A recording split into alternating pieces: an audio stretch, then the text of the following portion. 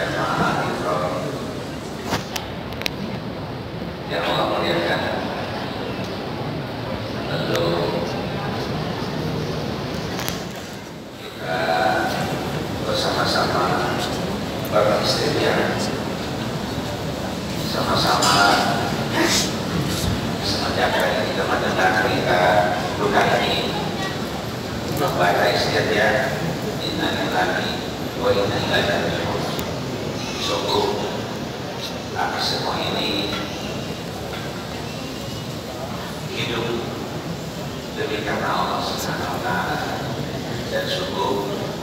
kami semua ini kepada